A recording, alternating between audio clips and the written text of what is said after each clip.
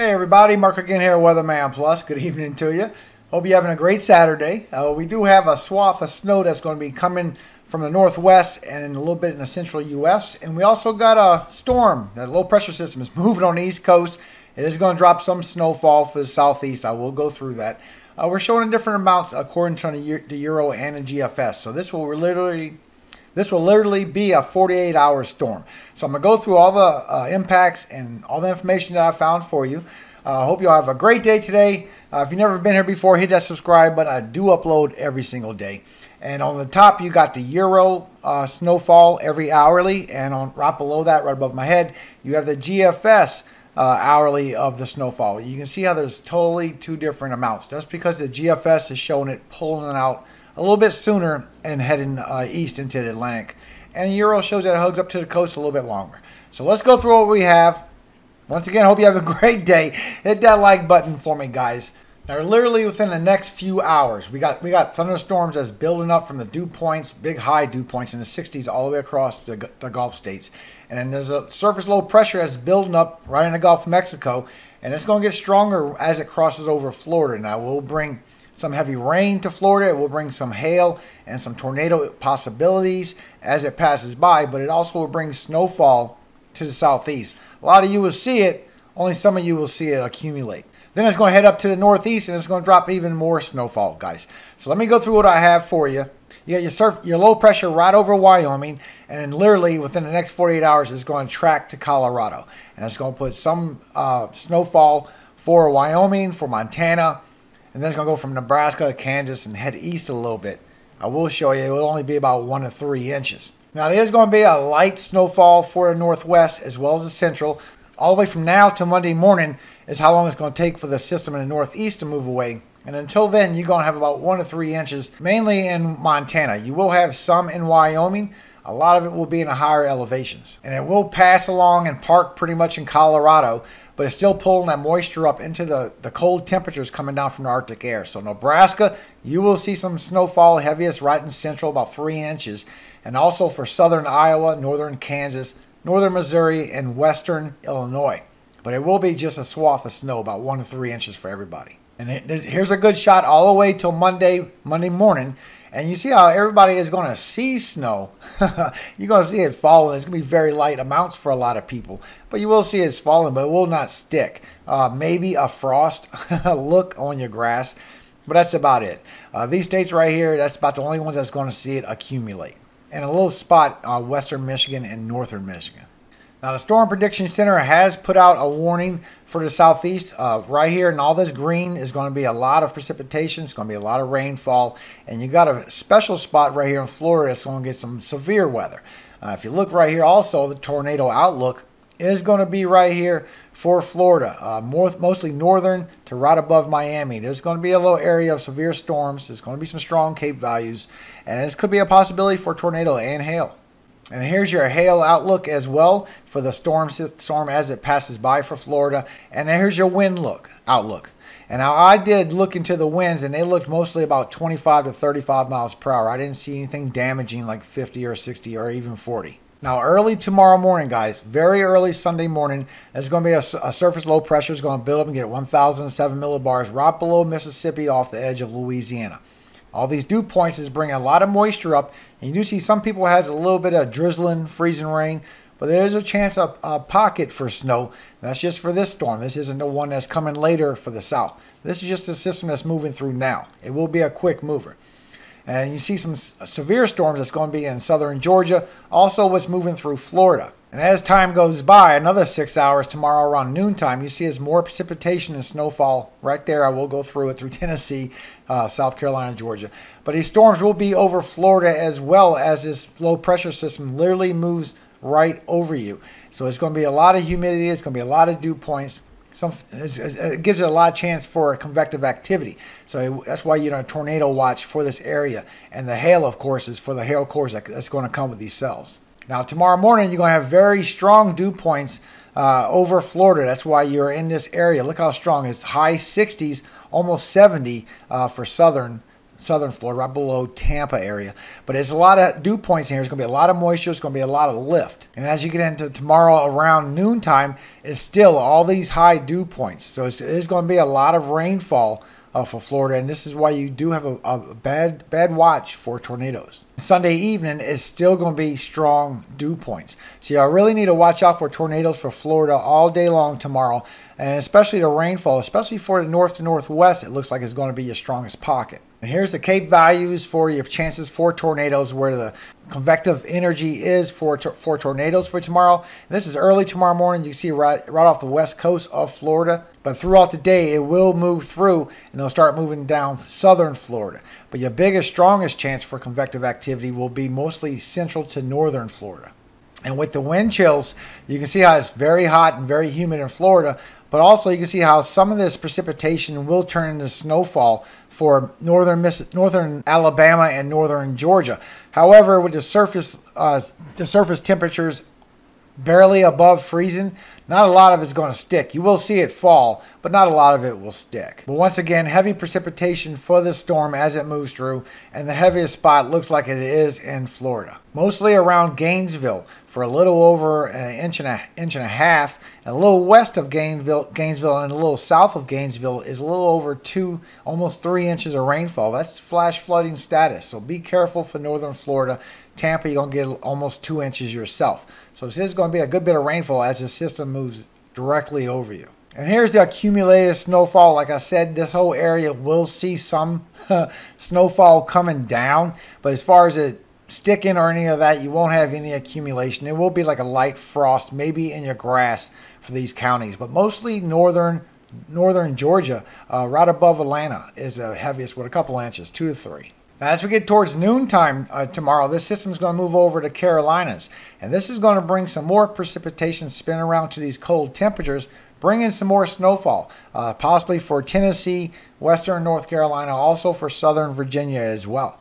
And here's a good shot from the east coast so you can see where the surface low pressure is and all this moisture is going to be dropping in this area. But however, the temperatures will not quite be cold enough for a good snowfall, but with the wind chill, they will be. And you can see the temperatures, they're well freezing, you know, for the surface low temperatures for western uh, North Carolina. But everybody else, Tennessee, South Carolina, northern Georgia, everybody's right above freezing, right around 33, 34 degrees. But with the wind chill factor, it puts all this well below freezing.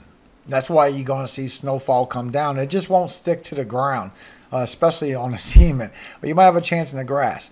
But, but central to eastern Tennessee, you get well below freezing, 29 to 30 degrees, so you have a good chance for it accumulating, especially western North Carolina. And for tomorrow morning, as the system goes through, this is the accumulation you're going to get within the six hours from tomorrow morning to about tomorrow around noon. It will be uh, central to eastern Tennessee with the heaviest with just a couple of inches, three at tops, and also western uh, North Carolina. The tip of South Carolina shows about an inch. Uh, I'm not sure if that's going to drag too far where it covers a full upstate. Mostly it's going to be on the edge of the Carolina. And at this point, by this afternoon until tomorrow at noon, this is a total accumulation of snowfall that we're going to be having in this area. And you can see the light amounts of people that will see uh, some snowfall come down because of the wind chill temperatures. However, there won't be no accumulation. You will see it. That's about all about as far as that's going to go. As we get into the afternoon tomorrow, the system is going to start moving towards North Carolina and Virginia. This is where it starts slipping away a little bit to the east, which is good. You're going to see a lot less freezing rain and a little more snowfall because of the because of the warm temperatures that's in the center of this cyclone. It will be moving away with it, so it'll be able to whip around, have a chance for the cold temperatures to come on in and freeze that up for you to some good snow. And the GFS is even concurring that it is it will be here by tomorrow in a little bit of early afternoon. So it is moving directly together, GFS and Euro. It's just GFS is pulling away a little bit early and is showing lesser amounts. And you can see the temperatures uh, tomorrow, early afternoon for Sunday. You can see the round edge of freezing, 33, 34 degrees for a lot of people uh, especially North uh, North Virginia and North Carolina when the system's moving through. But with the wind chills coming in, it puts it well below freezing, almost 26, 27 degrees for Virginia, uh, especially Maryland, Southern Maryland, and Southern Delaware. So this will give you a chance for this snowfall to accumulate because of the freezing wind chills. And within this six hour time span, you still got precipitation come all the way back around for Tennessee. You got another one to three inches accumulating. Also, West, West North Carolina, West Virginia, uh, West Virginia a little bit, but Western Virginia and Central Virginia uh, gets the heaviest. It looks like this whole strip from Central Tennessee all the way towards Maryland and South Jersey is going to have the heaviest out of this snowfall. And the total accumulations is starting to add up, especially for central Tennessee. You're talking six to eight inches already. So that's good snowfall. Now, by Sunday afternoon, it's going to be parked up right, below, right outside of Maryland, southern Jersey, right below Connecticut. And it's going to be 993. It's going to be a pretty strong system, but now it's going to start moving to the east and moving away, which is a good thing. You're going to start seeing more snow and less of that rain and freezing rain. But you can see for the first six hours, that you're in rain for Virginia, you're in freezing rain uh, for parts of Maryland and southern Delaware. But everybody else is going to be seeing snowfall. The GFS agrees that it is going to be parked right there at that time tomorrow afternoon, but it is going to pull away sooner for the GFS, and the Euro shows it stays a little bit longer. Now, here's your temperatures for tomorrow afternoon. You can see how southern Jersey is right on the edge of freezing, but not quite there as well as uh, Rhode Island. You're right on the edge of freezing, but not quite there. And uh, Maryland, Maryland, Delaware, y'all a little bit warmer at 34, 35 degrees.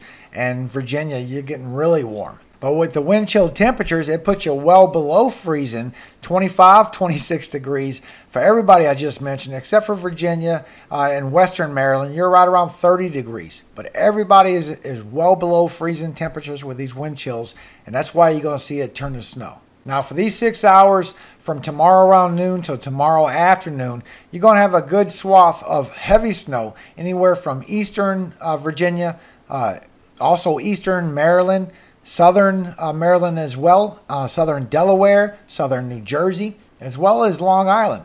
It's, it's going to be a lot of good snowfall that's going to be falling just within the six hours before it pulls away. With the total accumulation at this point, just doing a nice long track of heavy major snow for anywhere from six to eight inches from central Tennessee all the way to the edge of Maryland right before Delaware. Then it starts going down a little bit more from four inches uh, all the way to, to Long Island to, till four inches. This is going to be a good swath of heavy snowfall for this one area. Now, if it was uh, according to the GFS, it'd pull away uh, uh, sooner and it'd be less snowfall. And when it pulling away sooner, according to the GFS, it didn't have a chance to put more heavy precipitation over Tennessee. Central to northern will see heavier uh, snowfall, but the South Tennessee, to southeast, won't see what the Euro shows as good snowfall because it's pulling away sooner. And that puts lighter amounts for Virginia as well. But everybody else, the same amounts is still showing. Now, early Monday morning, it's going to strengthen to 986, but it's already going to be on the edge of leaving the New England states. At this point, the only people that may see snowfall would be Rhode Island, southeast Massachusetts, a little bit of New Hampshire, and Maine. And like I said, the GFS shows it pulling away a lot sooner, and it's not really showing anything except maybe on the backside for Vermont or northern New Hampshire. That's about it. For that full six hours from Sunday night till Monday morning, there will be a couple more inches that will drop, with the heaviest amount being in Rhode Island and southeast Massachusetts, and everybody else is just going to get about an inch more of snow.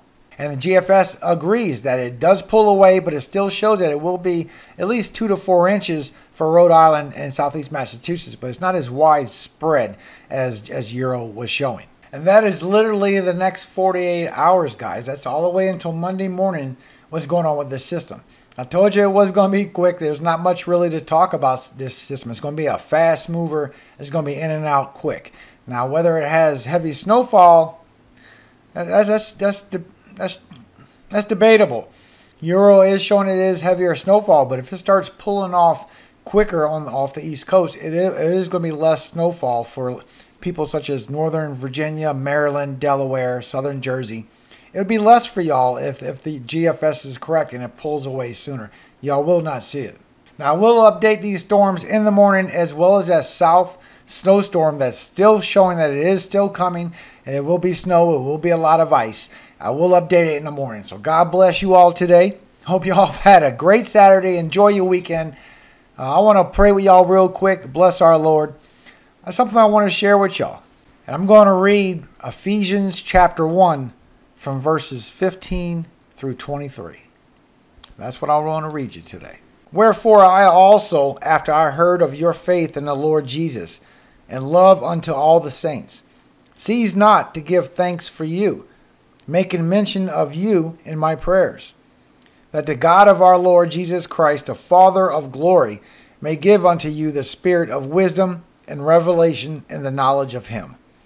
The eyes of your understanding being enlightened, that ye may know what is the hope of his calling, and what the riches of the glory of his inheritance in the saints, and what is the exceeding greatness of his power to usward who believe, according to the working of his, his mighty works, which he wrought in Christ, when he raised him from the dead and set him at his own right hand in the heavenly places, far above all principality and power and might and dominion, and every name that is named, not only in this world, but also in that which is to come.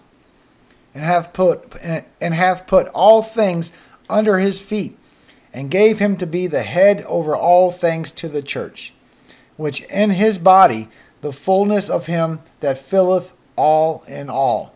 And you hath he quickened who were dead in trespasses and sins. Amen. Thank you, Lord, for your help. Without you, we would have nothing.